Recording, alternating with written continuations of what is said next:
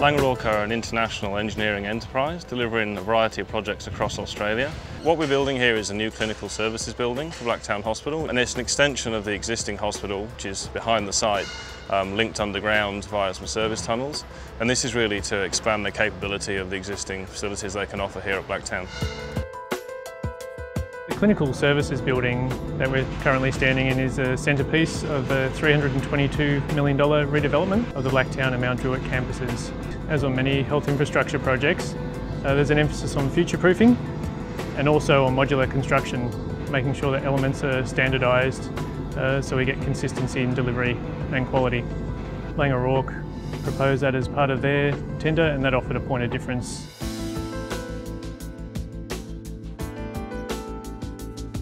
DFMA is our phrase uh, for design for manufacturing and assembly and it really just means designing something so it can be built off-site in a factory environment and then delivered to a site and installed.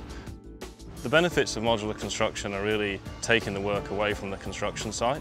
So you take away the risk of interruption from weather, uh, problems with deliveries, getting a lot of additional guys to, to the site, having to park, having to have welfare.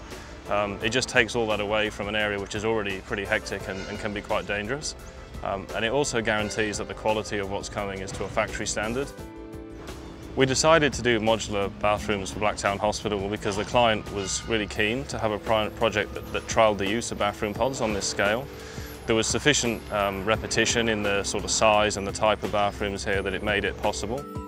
We're putting in 166 bathroom pods here, um, which represents about 85% of the bathrooms in total that are going into this project.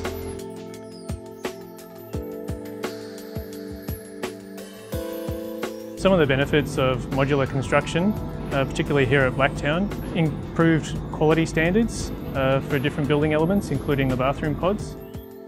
The quality is probably better or equivalent to uh, anything that's actually delivered on site in situ. Uh, and also time savings in the overall delivery of the project. We had uh, prototypes delivered for the bathroom pods and it enabled the, the clinicians and the end users to have a first look at what they were getting you know, 12 or 18 months in advance of the actual delivery of the project.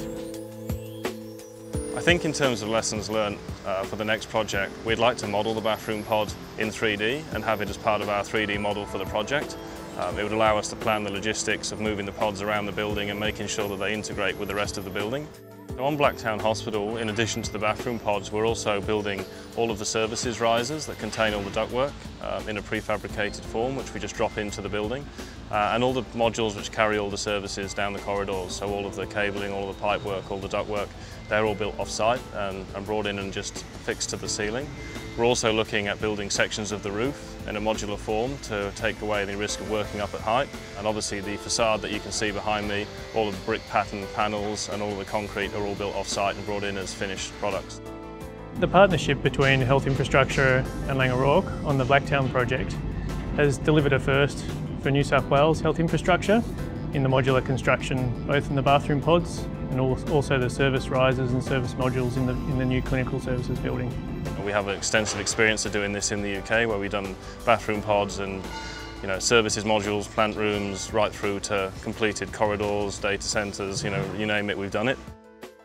We see DFMA um, and modular construction as the future of the industry across the whole of construction, not just healthcare. It's something that we, we're taking very seriously in Australia. So without a doubt, that's the way the future of the construction industry is going to go.